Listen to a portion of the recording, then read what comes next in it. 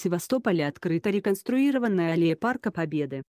Города и села России в Севастополе открыта реконструированная аллея Парка Победы.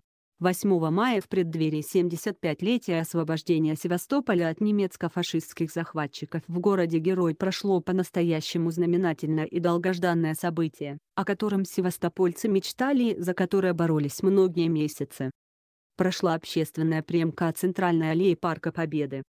Работы были начаты в 2017 году.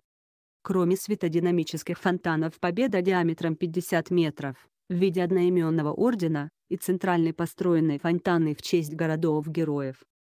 Всего на аллее расположено 16 светомузыкальных фонтанов. Впереди благоустройство территории парка с учетом того, что его территория усилиями правительства Севастополя расширена на 12 гектаров. Сегодня в парке продолжают работу 420 рабочих. Им помогают студенческие стройотряды. К октябрю будет дополнительно высажены около 1200 деревьев сотни кустов роз, и парк в прямом смысле слова расцветет. Озеленением займутся дендрологии парки и скверы, которая станет оператором парка. Все работы на первой очереди реконструкции парка согласно контракту будут завершены к сентябрю.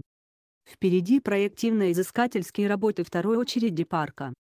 Речь идет о тех самых возвращенных в собственность города 12 гектарах земли, прилегающих к Парку Победы.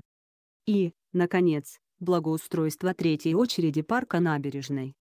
Реконструкция парка ведется в рамках федеральной целевой программы по развитию Крыма и Севастополя. Общий объем финансирования проекта предполагался на уровне около 1 миллиарда рублей.